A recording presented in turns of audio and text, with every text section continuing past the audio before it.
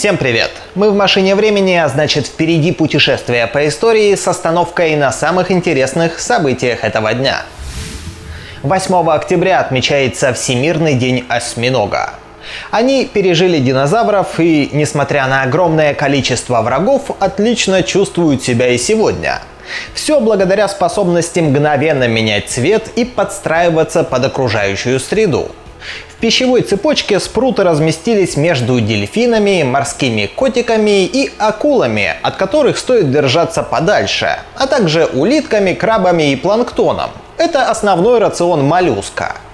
Кроме этого, для дезориентации агрессора осьминоги могут выбросить воду чернила или совершить отвлекающий маневр – сбросить конечность, как ящерица хвост. Кстати, в мозгу и щупальцах осьминогов насчитывается около 500 тысяч нейронов.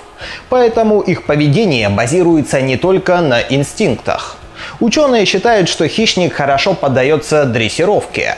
Наблюдения показали, что моллюски лихо преодолевают искусственно созданные преграды, откручивают крышки с банок и демонстрируют другие чудеса интеллекта. Также в этот день произошло окончательное освобождение Руси от монголо-татарского ига.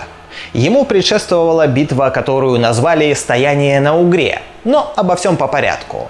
В конце 15 века Русь окрепла и была достаточно большой, богатой и сильной, поэтому не могла мириться с выплатами дани тогда уже наследнику распавшейся Золотой Орды хану Ахмату. В 70-х годах князь московский Иван III прекратил платить дань. Потеряв крупный источник финансирования, в отместку хан Ахмат сжег город Алексин и попытался пойти на Москву. Но попытка провалилась. Какое-то время монголо-татарская ига пыталась устраивать набеги на русские города, но поняв, что запугать царя невозможно, Ахмат стал готовиться к крупному сражению. Оно и вошло в историю под названием «Стояние на Угре». Река Угра находится в Калужской области. Чтобы вести наступательные действия, враг должен был ее форсировать. Однако русское войско отлично держало оборону.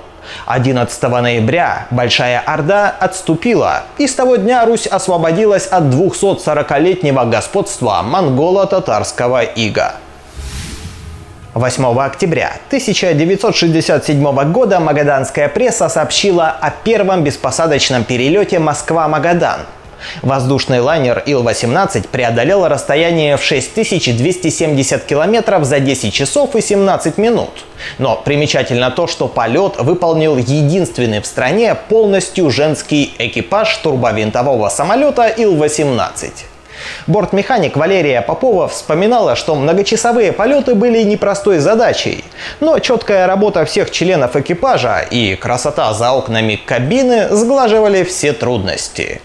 Магаданцы встречали женщин с цветами, показывали свои достопримечательности и угощали икрой.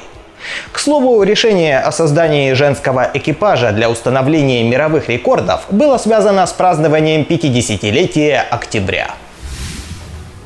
А еще в этот день впервые в истории два боксера использовали в бою перчатки. Они были далеки по форме от современных, но функционально, так же как и сейчас, смягчали удары и снижали риск получения травмы. Вероятно, первые бои в перчатках проводились и ранее, однако официальное упоминание о них было сделано 8 октября 1818 года. Как сообщалось в местных газетах, боксеры выглядели нелепо и комично шарообразными накладками на руках. Необходимо уточнить, что в те годы сражались на кулаках, причем правила «не бить друг друга ногами» или «не кусаться» обговаривались перед каждым поединком.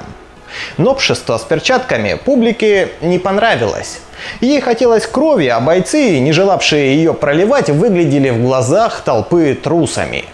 Считается, что на такой шаг спортсмены пошли не столько для самосохранения, а чтобы власти перестали запрещать бокс. Ведь поединки на голых кулаках нередко заканчивались печальными последствиями. Забавно, что сейчас кулачные единоборства только набирают популярность. Вот и все на сегодня. Люби историю и отмечай праздники. А мы увидимся в машине времени.